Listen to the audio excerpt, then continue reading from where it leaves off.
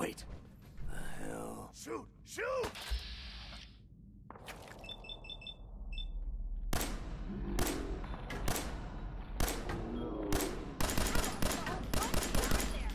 For now.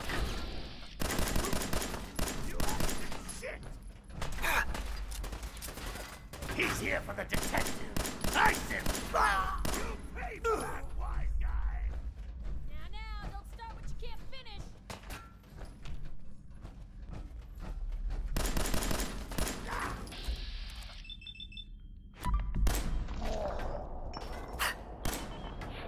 Mm-hmm.